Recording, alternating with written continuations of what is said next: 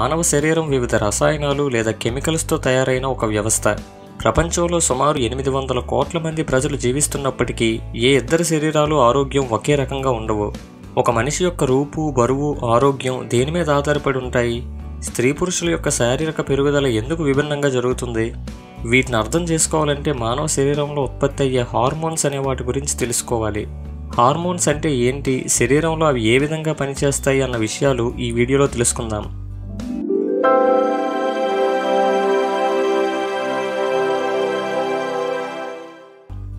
మానవ శరీరం జీవించడానికి గాలి నీరు ఆహారం వంటివి తీసుకొని వాటి ద్వారా శక్తిని గ్రహిస్తుంది. అదేవిధంగా ఆరోగ్యంగా ఉండడానికి నిద్ర శారీరక శ్రమ మానసిక ఆనందం వంటివి కూడా పొందుతుంది. ఈ మొత్తం ప్రక్రియను జీవక్రియ లేదా మెటబాలిజం అని అంటారు. జీవక్రియను నియంత్రించడానికి శరీరంలోని అవయవాలు హార్మోన్స్ అనే జీవ రసాయనాలను ఉత్పత్తి చేస్తాయి. హార్మోన్స్ శరీర అవయవాల్లో ఉండే వివిధ గ్రంథుల ద్వారా విడుదలవుతూ ఉంటాయి.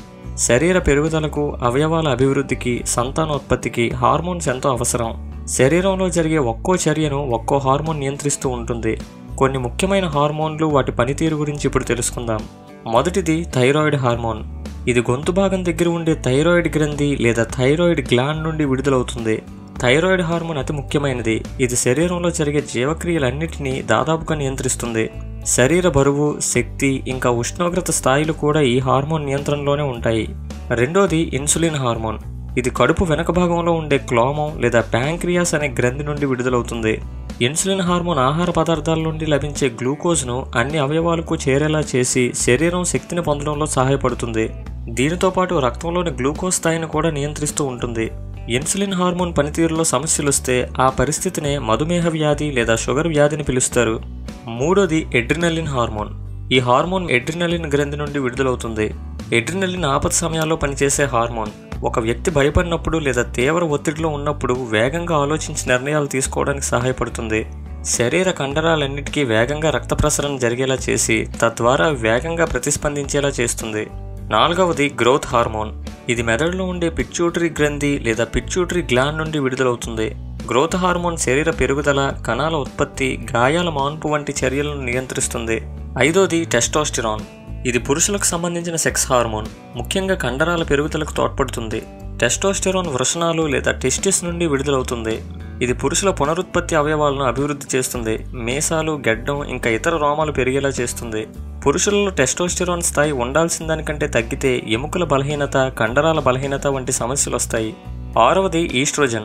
ఇది స్త్రీలకు సంబంధించిన సెక్స్ హార్మోన్. అండాశయాలు లేదా ఓవరీస్ నుండి విడుదలవుతుంది. స్త్రీల యొక్క ఋతుక్రమం సంతానోత్పత్తి ఇంకా మెనోపాస్ వంటి చర్యలను నియంత్రిస్తుంది. శరీరంలోని ఈస్ట్రోజన్ స్థాయి ఉండాల్సిన దానికంటే ఎక్కువ ఉంటే అది బ్రెస్ట్ క్యాన్సర్ అండాశయ క్యాన్సర్ డిప్రెషన్ వంటి సమస్యలకు దారితీస్తుంది. అదే ఉండాల్సిన దానికంటే తక్కువ ఉంటే చర్మం ముడతలు పడడం జుట్టు రాలిపోవడం వంటి సమస్యలు వస్తాయి. ఏడవది ప్రోజెస్టెరాన్. ఇది స్త్రీలకు సంబంధించిన మరో సెక్స్ హార్మోన్. ఇది అండాశయాలు ఇంకా ఎడ్రినలిన్ గ్రంథుల నుండి విడుదలవుతుంది. స్త్రీలు గర్భం దాల్చినప్పుడు వారి శరీరంలో జరిగే మార్పులను ప్రొజెస్టెరాన్ నియంత్రిస్తుంది. ఎనిమిదవది సెరోటోనిన్. ఇది భావోద్వేగాలను పెంచే హార్మోన్. దీన్ని ఫీల్ గుడ్ హార్మోన్ అని కూడా పిలుస్తారు. ఇది సహజంగా మెదడు ద్వారా శరీర నరాల నుండి విడుదలవుతుంది. ఆలోచనలు భావాలు నిద్ర జీర్ణ వ్యవస్థ వంటి చర్యలను సెరోటోనిన్ నియంత్రిస్తుంది.